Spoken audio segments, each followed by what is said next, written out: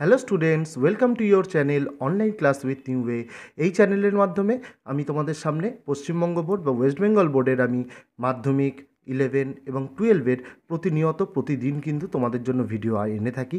এই চ্যানেলের ওপরে তোমরা কী পাবে? এমসিকিউ এসএ কিউ প্রশ্ন উত্তর এবং সাজেশান ভিত্তিক সমস্ত রকম ভিডিও কিন্তু আমার এই চ্যানেলেই পেয়ে যাবে। তাছাড়া এই চ্যানেলে তোমরা দেখতে পাচ্ছ আলাদা করে ভিডিওর প্লেলিস্টও করা আছে, যেখানে তোমরা প্রত্যেকটা ক্লাসের অধ্যায়ভিত্তিক ভিডিও তোমরা পরপর দেখতে পেয়ে যাবে।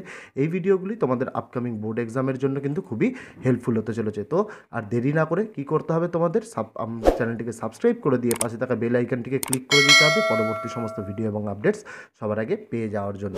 চলো শুরু করা যাক ভিডিওটি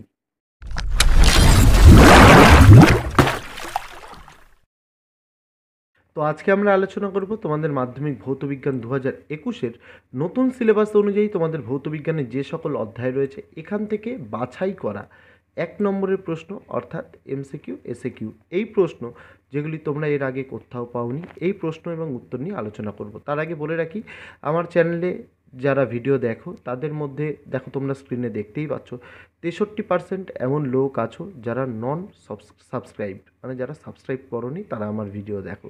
সাঁত্রিশ পার্সেন্ট আমার সাবস্ক্রাইবাররা ভিডিও দেখে। তো আমি দুজনের কাছেই অনুরোধ করব, আমার সাবস্ক্রাইবাররা তোমরা এই ভিডিওগুলি প্রতিনিয়ত দেখো, তোমাদের জন্য উপকার হবে। আর যারা সাবস্ক্রাইব করনি, তাদের কাছে একটি অনুরোধ, যে তোমরা চ্যানেলটিকে সাবস্ক্রাইব করে দাও, যাতে তোমরা এই ধরনের গুরুত্বপূর্ণ ইম্পর্টেন্ট ভিডিও এবং আপডেটস তোমরা যাতে মিস না করো। তো দেখো ভিডিওর দিকে আসা যাক।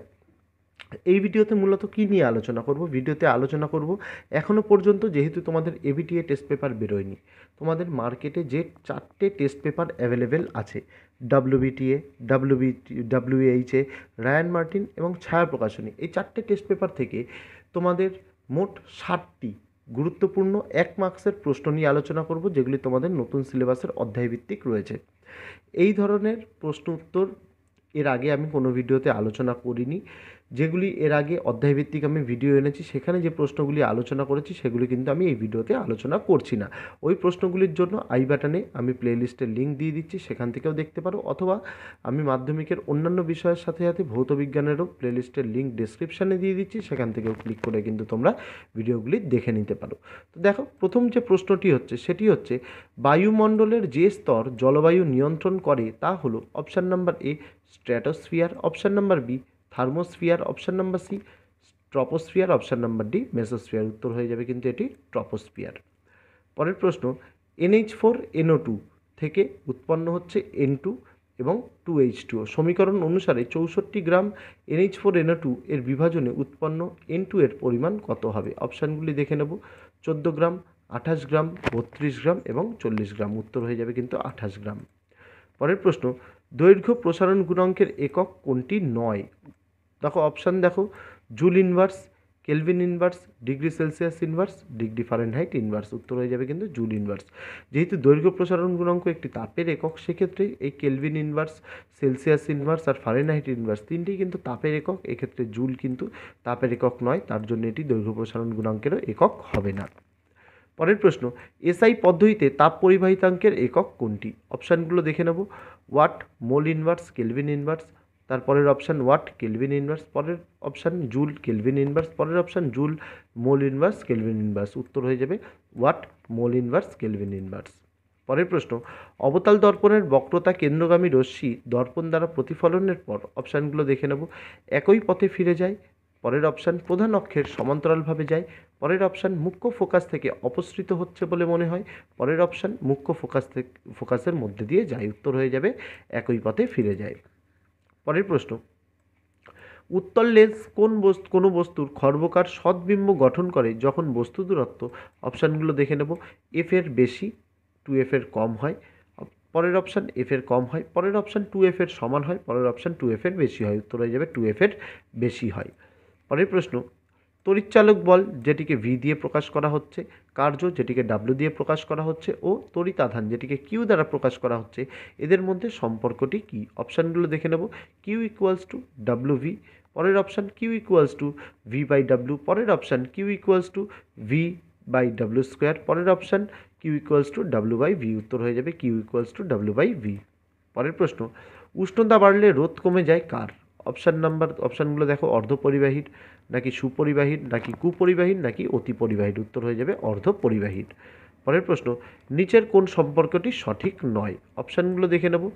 H equals to V square R T পরের option H equals to V I T পরের option H equals to I square R T পরের option H equals to V square two T by R উত্তর হয়ে যাবে H equals to V square two R T sorry, এটি হয়ে যাবে V square R T V square two R T না V square R T পরের প্রশ্ন, নিচের কোনটি সুইচের কাজ নয়? অপশানগুলো দেখে নেব, বর্তনী সংযুক্ত করা, পরের অপশান বর্তনী বিচ্ছিন্ন করা, পরের অপশান বর্তনী প্রবাহ চালু করা, পরের অপশান পরিবাহীর উষ্ণতা কমানো, উত্তর হয়ে যাবে পরিবাহীর উষ্ণতা কমানো।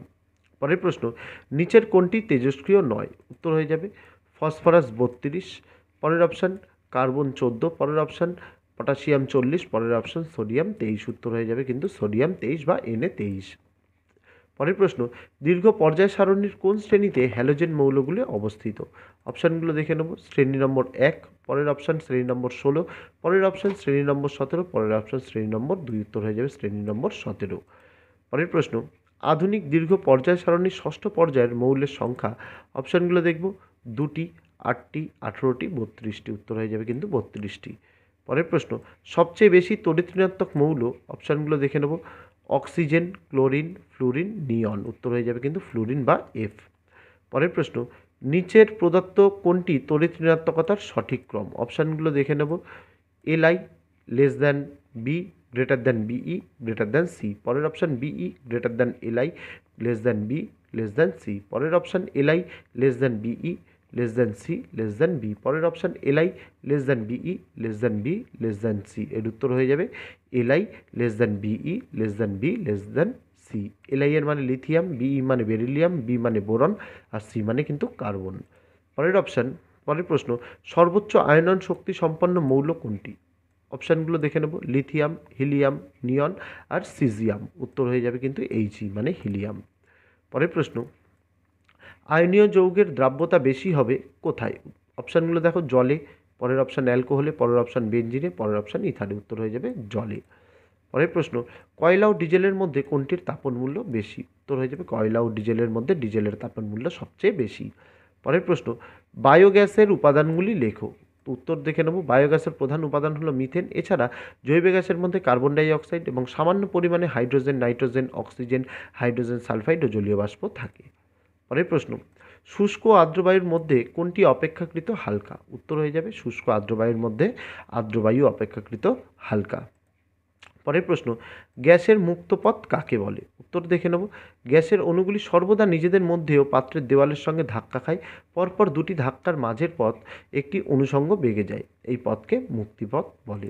পরের প্রশ্ন, কোন ধরনের বিক্রিয়া E equals to M C square মানে আইনস্টাইনের সূত্র প্রযোজ্য নয়?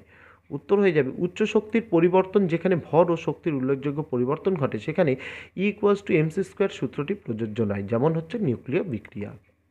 পরের প্রশ্ন, গ্যাসের বাষ্প ঘনত্ব আণবিক ভরের মধ্যে সম্পর্ক কি?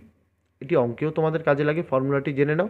গ্যাসের আণবিক ভর সমান সমান দুই গুণ গ্যাসের বাষ্প ঘনত্ব পরের প্রশ্ন দুই গ্রাম অণু অ্যামোনিয়ার ভর কত? তো এখানে দেখো দুই গ্রাম অণু অ্যামোনিয়ার ভর হয়ে যাবে সতেরো গ্রাম। নিচে ব্যাখ্যাটা আমি করে দিয়েছি। দেখো অ্যামোনিয়া মানে এনএইচ থ্রি নাইট্রোজেনের ভর হচ্ছে চোদ্দ আর হাইড্রোজেনের ভর হচ্ছে এক। সেক্ষেত্রে নাইট্রোজেনের জায়গায় চোদ্দ বসালাম, যোগ দিয়ে তিন অণু হাইড্রোজেন আছে, তাই তিন গুণ এক মানে চোদ্দ আর তিন হয়ে যাচ্ছে সতেরো। তো দুই অণু অ্যামোনিয়ার ক্ষেত্রে কত হবে? দুই গুণ সতেরো মানে চৌত্রিশ গ্রাম। পরের প্রশ্ন, গ্যাসের আয়তন প্রসারণ গুণাঙ্কের মান কত? উত্তর হয়ে যাবে এক বাই দুশো তিয়াত্তর ডিগ্রি সেলসিয়াস। পরের প্রশ্ন, তরলের প্রকৃত প্রসারণ গুণাঙ্ক পাত্রের আয়তন প্রসারণ গুণাঙ্কে সমান হলে তরলের আপাত প্রসারণ গুণাঙ্কের মান কত হবে? উত্তর হয়ে যাবে শূন্য। পরের প্রশ্ন, কোনো আলোক মাধ্যমে আলোর বেগ বৃদ্ধি পেলে মাধ্যমের প্রতিসরাঙ্ক, অপশানগুলো দেখে নেব। প্রথমে বৃদ্ধি পায়, পরে হ্রাস পায়, পরে অপশান প্রতিসরাঙ্ক কমে, পরের অপশান প্রতিসরাঙ্ক একই থাকে, পরের অপশান প্রতিসরাঙ্ক বৃদ্ধি পায়, উত্তর হয়ে যাবে প্রতিসরাঙ্ক কমে। পরের প্রশ্ন, দন্ত চিকিৎসকরা কোন ধরনের দর্পণ ব্যবহার করেন? উত্তর হয়ে যাবে, অবতল দর্পণ। পরের প্রশ্ন, কোনো অবতল দর্পণের ফোকাস দৈর্ঘ্য পনেরো সেন্টিমিটার হলে বক্রতা ব্যাসার্ধ কত হবে? তো বক্রতা ব্যাসার্ধের ফর্মুলা হচ্ছে দুই গুণ ফোকাস দৈর্ঘ্য মানে দুই গুণ পনেরো মানে তিরিশ সেন্টিমিটার হয়ে যাবে উত্তর। পরের প্রশ্ন, অবতল দর্পণ কখন একটি বস্তুর অসৎবিম্ব গঠন করবে? তো উত্তর দেখে নেব যে বস্তুটি দর্পণের মেরু ও ফোকাসের মধ্যে রাখলে বস্তুর অসৎবিম্ব গঠন করবে। পরের প্রশ্ন, কোন দর্পণের জন্য দৃষ্টিক্ষেত্র সর্বাধিক? উত্তর হয়ে যাবে, উত্তল দর্পণের জন্য দৃষ্টিক্ষেত্র সর্বাধিক। পরের প্রশ্ন, প্রতিসরণের ক্ষেত্রে আপতন কোণ ও প্রতিসরণ কোণ যথাক্রমে পঁয়তাল্লিশ ডিগ্রি ও তিরিশ ডিগ্রি হলে কৌণিক চ্যুতির মান কত? উত্তর হয়ে যাবে, পনেরো ডিগ্রি। কারণ ফর্মুলাটি হচ্ছে আপতন কোণ মাইনাস প্রতিসরণ কোণ। সেক্ষেত্রে পঁয়তাল্লিশ থেকে তিরিশ বিয়োগ করলে পনেরো তোমাদের কিন্তু কৌণিক চ্যুতির মান বেরিয়ে যাবে। পরের প্রশ্ন উষ্ণতা বৃদ্ধিতে কোন মাধ্যমের, কোনো মাধ্যমের পরম প্রতিসারাঙ্কের কী পরিবর্তন হয়? উত্তর হয়ে যাবে, পরম প্রতিসারাঙ্ক কমে যায়। পরের প্রশ্ন হ্রস্ব দৃষ্টি ত্রুটি সম্পন্ন ব্যক্তি কোন ধরনের লেন্সযুক্ত চশমা ব্যবহার করেন? মানে যারা চোখে কম দেখে, তারা কোন ধরনের লেন্সযুক্ত চশমা ব্যবহার করেন? উত্তর হয়ে যাবে, অবতার লেন্সযুক্ত চশমা।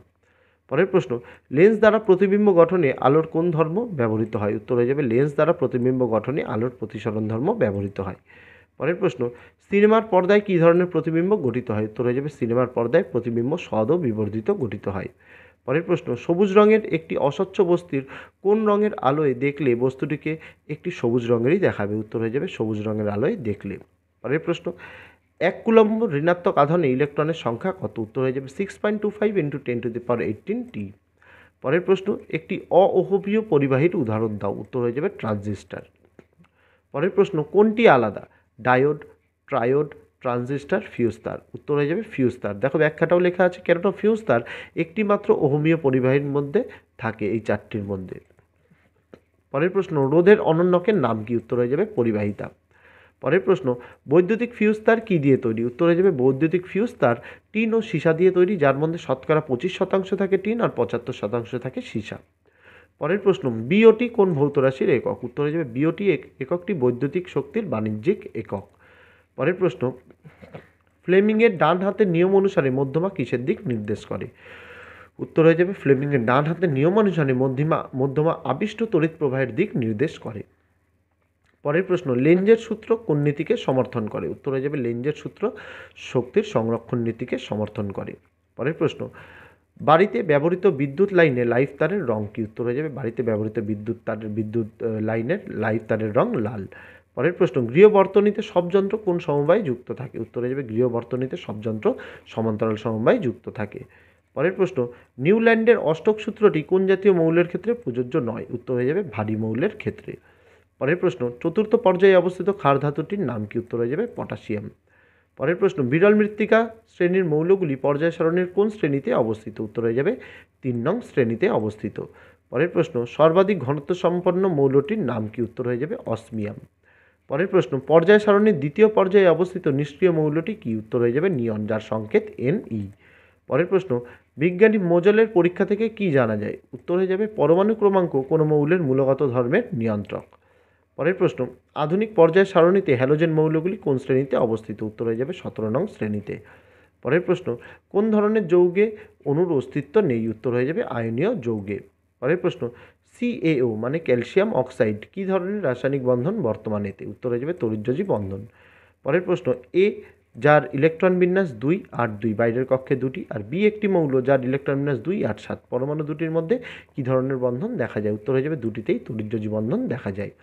পরের প্রশ্ন এন টু মানে নাইট্রোজেন অণুর মধ্যে কয়টি ইলেকট্রন জোর নিঃসঙ্গ আছে? উত্তর হয়ে যাবে দুটি, নিঃসঙ্গ ইলেকট্রন জোর আছে। পরের প্রশ্ন এনএসিএল ও এইচসিএল এর মধ্যে কোনটি বিশুদ্ধ অবস্থায় তড়িৎ বিশ্লেষ্য নয়? উত্তর হয়ে যাবে এইচসিএল বিশুদ্ধ অবস্থায় তড়িৎ বিশ্লেষ্য নয়। শেষ প্রশ্ন ভিডিওর, তড়িৎ বিশ্লেষণে কোন প্রকার তড়িৎ প্রবাহ ব্যবহার করা হয়? উত্তর হয়ে যাবে সমপ্রবাহী তড়িৎ বা ডিসি ব্যবহার করা যায়।